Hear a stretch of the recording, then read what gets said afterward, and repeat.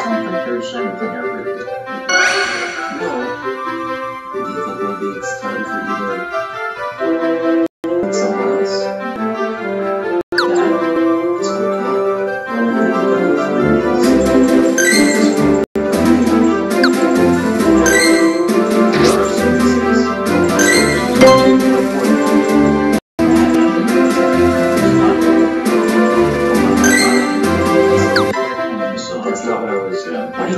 when it's dangerous, and you can pick things up. You don't even want to know what you can pick up.